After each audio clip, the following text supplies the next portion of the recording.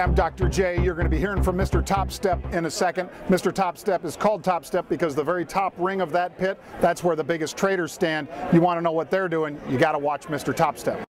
Good morning. This is Danny Riley from the CME Group in Chicago from the S&P 500.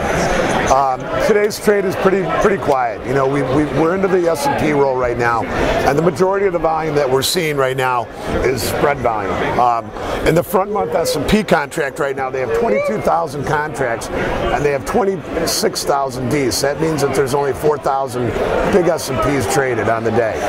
Um, as far as the trade goes today, you know, uh, we use we use a um, system called Top Notch. Top Notch trading is done by a guy from the trading floor down here, and one of his numbers that he had today was actually the high of the day. 1043.40, 1043 half is the high.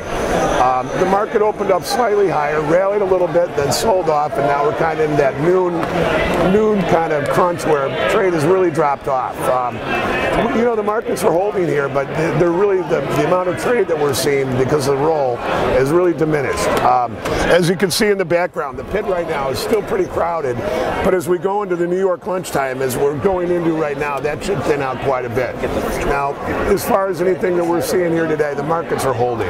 Um, you know, the sellers continue to do what they do. They come in when the market declines, the market pops up a little bit, in comes the buy programs, in come the buy stops, and uh, right now we're only up a dollar sixty in the in the D's S&P, but uh, we think that they, we think it's holding pretty well. Um, now, the other part about this is next week is the expiration.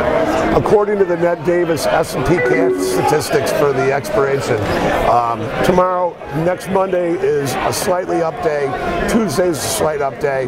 Wednesday's a little better, but as we go into the end of the week, those stats get a little better. So we're kind of thinking that we may be heading towards some type of pullback.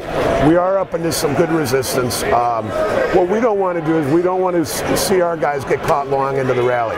So be careful out here, everybody, and use stops.